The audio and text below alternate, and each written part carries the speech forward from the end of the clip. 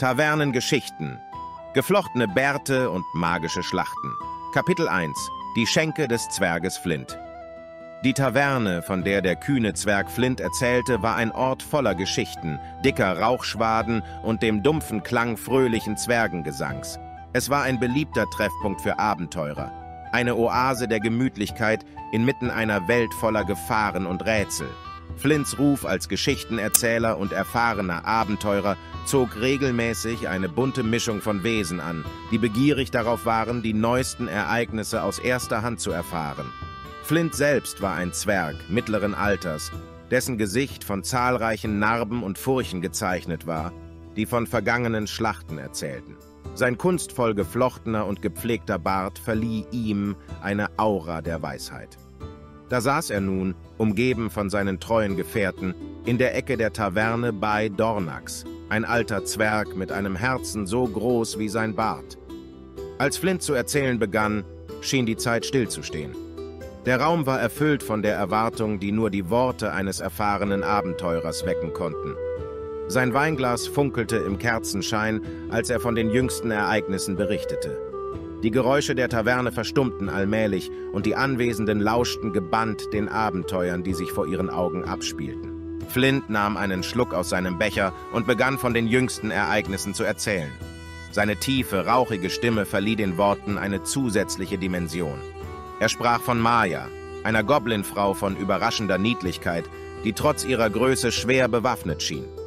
Zusammen mit Kalenz, einem jungen Mann mit Elfenhintergrund, Callisto, einer mutigen Klerikerin, und Lorelei, einer bärtigen Talari mit einem atemberaubenden roten Haarschopf, hatte er sich auf ein waghalsiges Abenteuer eingelassen.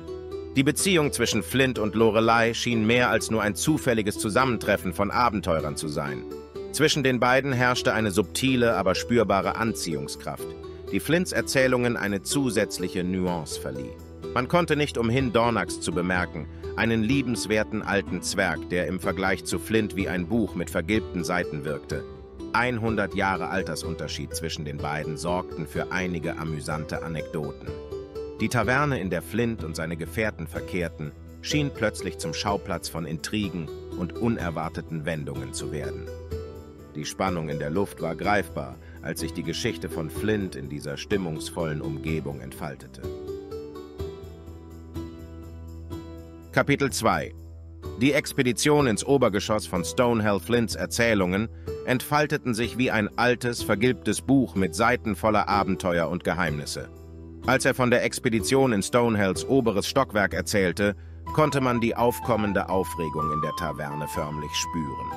Der flackernde Kerzenschein erhellte die Gesichter der Zuhörer, während Flint seine Erzählung mit einer gekonnten Mischung aus Spannung und Humor würzte.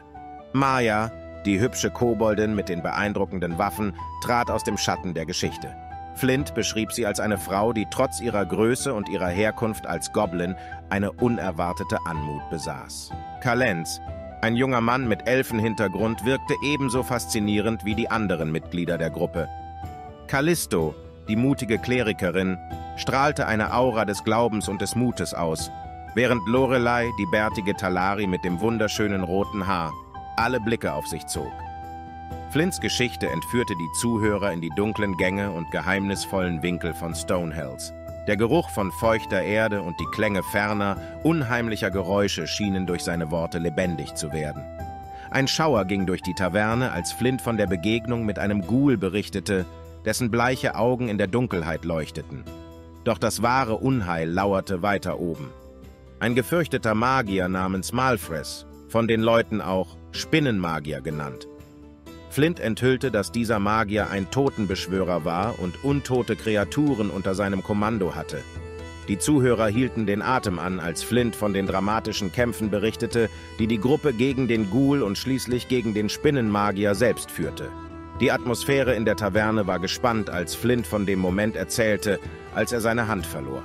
Ein Raunen ging durch die Menge, gefolgt von stillem Respekt für den tapferen Zwerg, der trotz des Verlustes mit Humor reagierte. Die Art und Weise, wie er den gefangenen Malfräs in den Mund stopfte, als dieser gefangen genommen wurde, brachte nicht nur Flint, sondern auch die Anwesenden zum Schmunzeln. Die Gruppe hatte sich dem Bösen gestellt und triumphiert. Flint, der Held dieser Geschichte, hatte seine Gefährten sicher durch die Herausforderungen geführt. Und während die Geschichte in der Taverne erzählt wurde, konnte man die Faszination in den Augen der Zuhörer sehen, die nach mehr Details verlangten. Kapitel 3 Der Spinnenzauberer Malfres, der Totenbeschwörer Die Spannung in der Taverne erreichte ihren Höhepunkt, als Flint mit einer tiefen Atempause zum nächsten Kapitel seiner epischen Erzählung überging. Die Blicke der Anwesenden hingen an seinen Lippen, als er von der gefährlichen Konfrontation mit dem Spinnenmagier Malfres, dem Nekromanten, erzählte. Die obere Etage von Stonehells verwandelte sich in eine Kulisse voller Dunkelheit und unheimlicher Geheimnisse. Die Gruppe, angeführt von Flint und begleitet von Maya, Kalenz, Callisto und Lorelei, wagte sich mutig ins Unbekannte. Flint beschrieb die dunklen Gänge und die düstere Atmosphäre, die ihre Sinne einhüllte, als sie tiefer in die Gemäuer vordrangen. Der Kampf mit dem Ghoul war nur ein Vorgeschmack auf das, was noch kommen sollte. Die grünen Augen des Ghouls funkelten in der Dunkelheit, als er mit seinen knochigen Fingern nach den Abenteurern griff. Doch die Gruppe zeigte Entschlossenheit und nahm die erste Hürde. Dann tauchte Malfres auf, der Spinnenzauberer, ein Schattenmeister der Nekromantie. Flint beschrieb Malfres mit einer Mischung aus Ehrfurcht und Abscheu. Sein dunkles Gewand flatterte im Wind der unterirdischen Gänge und sein Blick verriet eine tiefe Verbindung zu den schattenhaften Mächten, die er zu beherrschen schien. Untote Kreaturen gehorchten seinem Willen, und die Gruppe sah sich einem Feind gegenüber, der nicht nur mächtig, sondern auch gerissen war. Die epische Schlacht, die Flint lebhaft schilderte, zog die Zuhörer tief in die Geschichte hinein.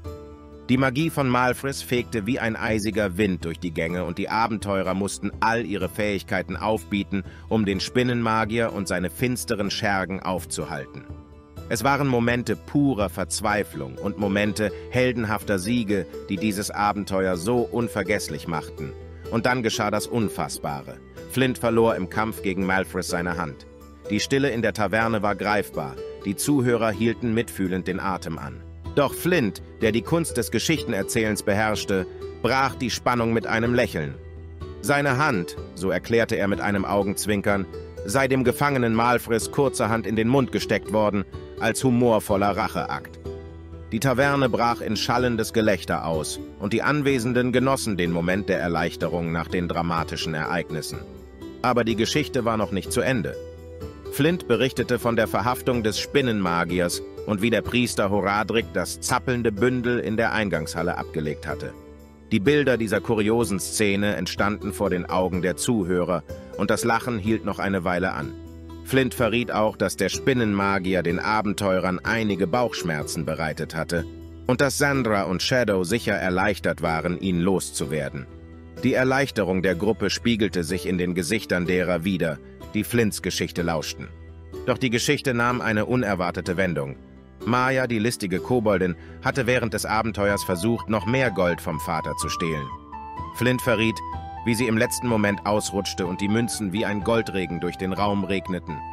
Die Taverne brach wieder in Gelächter aus und selbst Dornax konnte sich ein Grinsen nicht verkneifen, obwohl er mich peinlich berührt ansah, als ich mich kindisch benahm.